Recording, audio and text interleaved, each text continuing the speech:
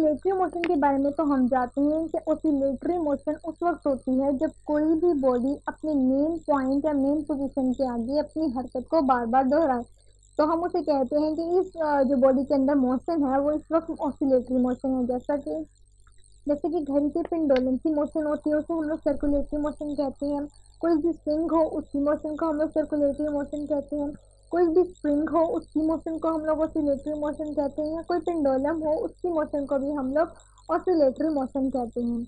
अब oscillatory motion ऐसी motion होती है जिसमें ये अपने मेन पॉइंट के आगे पीछे अपने एक ही तरह की हरकत को बार बार दोहराता है। ऑसिलेटरी जो मोशन है, इसकी भी दो तरह की टाइप्स होती हैं। एक वो ऑसिलेटरी मोशन जो बिल्कुल फ्री होती है, यानी कि हम लोगों को कोई भी फोर्स अप्लाई नहीं करना पड़ता, इसे हम लोगों, हम लोग इसे कहते हैं कि फ्री ऑसिलेटरी मोशन है।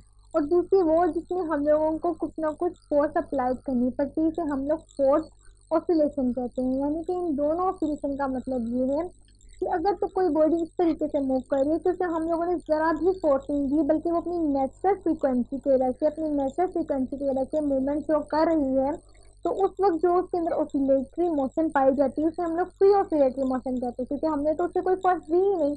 तो फोर्स ना देने की सूरत में जो ऑसिलेशन है, उससे हम लोग फ्री ऑसिलेटरी मोशन कहते हैं।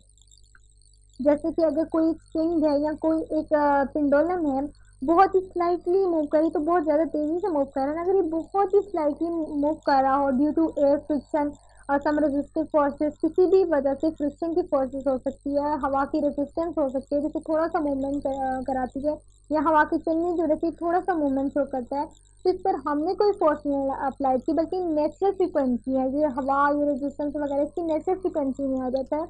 अगर ये अपनी नेचुरल फ्रिक्वेंसी की वजह से मूवमेंट करता है, या मूवमेंट शो करता है तो उस वक्त जो ऑसिलेटरी मोशन है, उसे हम लोग कहते हैं कि फ्री ऑसिलेटरी मोशन है। जिस तरह से अगर हम लोग इस सिचुएशन की बात करें तो फिर स्विंग ऐसे ऐसे होते हैं कि अपनी पॉइंट अपने जो फिक्स पॉइंट है, उससे स्टेबल होते हैं। लेकिन अगर हवा चले या कोई ऐसी रीज़न हो तो वो अपनी पोजीशन से स्लाइटली मूव करते हैं। इतना तेज़ी से नहीं, बल्कि स्लाइटली मूव करते हैं। तो उसे हम लोग जो है, वो फ्री ऑसिलेटरी मोशन की कैटेगरी में रखते हैं। लेकिन अगर ऐसी कोई मोशन हो, जिसमें हमें बाकायदा फोर्स देनी पड़े, जिसमें फोर्स देकर ही ऑसिलेटरी मोशन हो यानी कि ऐसी मोशन जिसमें हम अगर फोर्स अप्लाई भी ना करें तो बॉडी भी मूवमेंट शो ना करे। इसका मतलब है कि जब किसी बॉडी पे, जैसे कि स्प्रिंग है, इस पर जब तक हम फोर्स ना लगाएँ तो स्प्रिंग क्योंकि हैवी मैस के साथ अटैच होता है, वो मूवमेंट शो नहीं करता। तो हम जब इस पर एक्सटर्नल फोर्स लगाते हैं तो इसका मतलब है हमने फोर्स अप्लाई की है। इस फोर्स के अप्लाई करने के नतीजे में इसमें ऑसिलेटरी मोशन शो हुई है। और अगर कोई पिंडोलन ऐसा है जिसकी वो बहुत ज़्यादा हैवी है और वो हवा की रेजिस्टेंस या फ्रिक्शन की वजह से मूव नहीं कर पा रही, बल्कि हम लोगों को बजाते खुद एक उस पर फोर्स लगानी पड़ रही है, एक अप्लाइड फोर्स देना पड़ रहा है उसे, उस पर काम करने के लिए, उसे मूव कराने के लिए उसकी मेन पोजिशन पे। तो इस सिचुएशन में जो हम फोर्स देते हैं, उसे हम लोग कहते हैं कि फोर्स ऑसिलेशन है, यानी फोर्स ऑसिलेटरी मोशन है।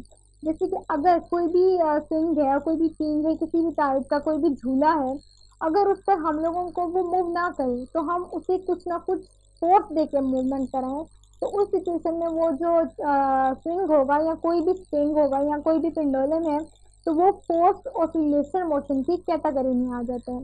इसके अलावा एक और चीज़ होती है जिसे हम लोग कहते हैं, जिसे हम लोग ड्राइवन कहते हैं कि ड्राइव ड्राइवन हारमोनिक ऑसिलेटर से कहते हैं हारमोनिक ऑसिलेटर ये एक ऐसा सिस्टम होता है, इसको हम लोग सिस्टम कहते हैं। ये एक सिस्टम है जो जिसमें कि चीज़ें उसी वक्त वाइब्रेट करती हैं जब उस पर सम एक्सटर्नल फोर्स एक्ट करे अदरवाइज़ वो नहीं करती। इसका मतलब है कि जो फोर्स ऑसिलेटरी मोशन है, वो under the driven harmonic motion के अंदर आती है।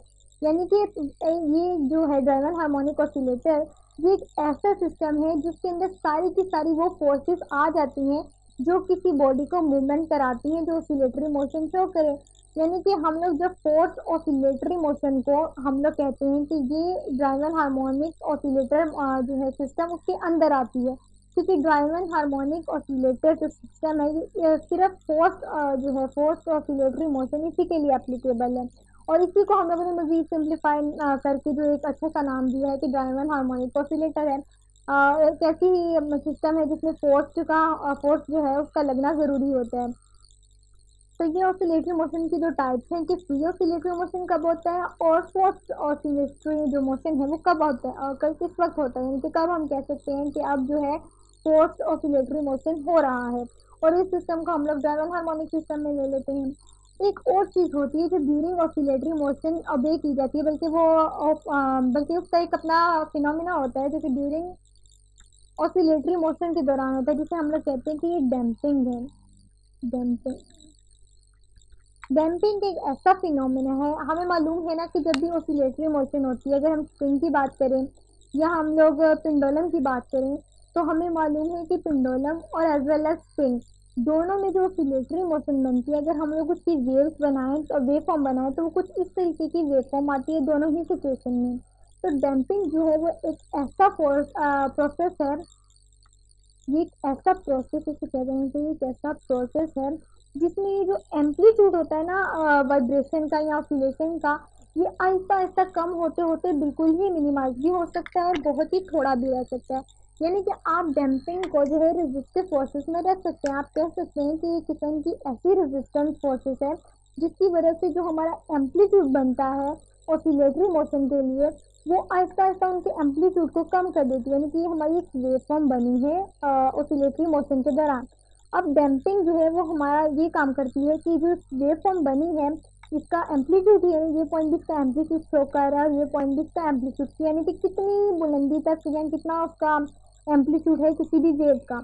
जब डैम्पिंग किसी चीज़ के अंदर आ जाती है, यानी कि रेजिस्टेंट फोर्सेस आ जाती हैं तो ये डैम्पिंग क्या करती है कि इसके एम्पलीट्यूड को आहिस्ता आहिस्ता कम करती है।